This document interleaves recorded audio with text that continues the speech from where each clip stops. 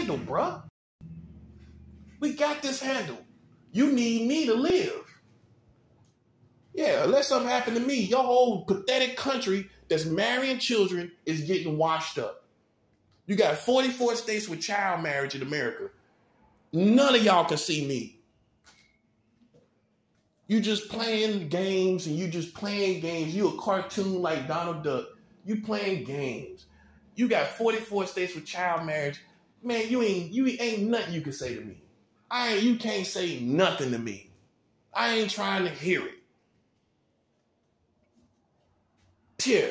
Imagine you trying to affiliate yourself with me, ignorant as you are.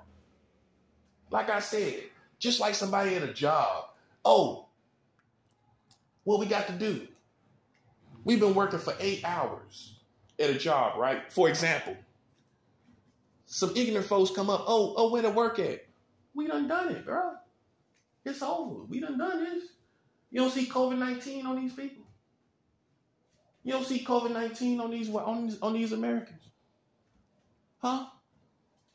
You don't see all this destruction on these people, and here you are trying to pull up at the last minute. Man, come on, man. Have more dignity. Have more. I'm telling you to have more dignity. You ain't been here. You've been sitting back speculating and spectating on my situation about what's going to happen to me. Keep that same energy. Don't come over trying to affiliate yourself with me. Yeah, I ain't got no affiliates. My only affiliates is Russians. Russians in my family and loved ones. Other than that, I don't have no affiliates because all of y'all sit back, all of y'all sat back and spectated and speculated on what was going to happen. And it didn't happen like you thought it was.